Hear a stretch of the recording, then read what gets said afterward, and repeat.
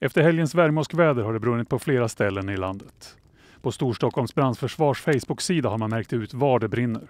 Räddningstjänsten bekämpar just nu 20-30 bränder per dygn och marken är torr som fnöske.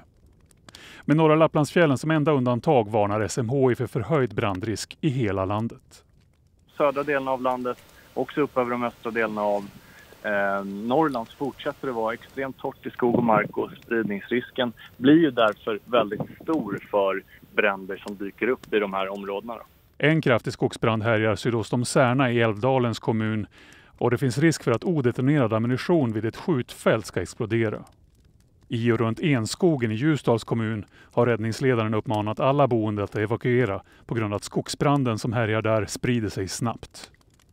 Myndigheten för samhällsskydd och beredskap har meddelat att de fått ett erbjudande om brandbekämpningsflyg från Italien. Flygplanen kommer att landa på Örebro flygplats under onsdagen.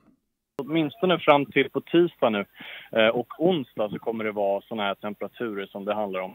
Igår så hade ju bland annat Stockholm nytt årshögsta. Där blev det hela 33,5 grader igår. Och det skulle faktiskt kunna närma sig samma temperaturer redan imorgon. Eh, men sen ser det ut som att vi har en kallfront som letar sig in nu över de sydvästra delarna av landet från och med onsdag. Kommer bära med sig en del intensiva skurar och regn och även en del åska.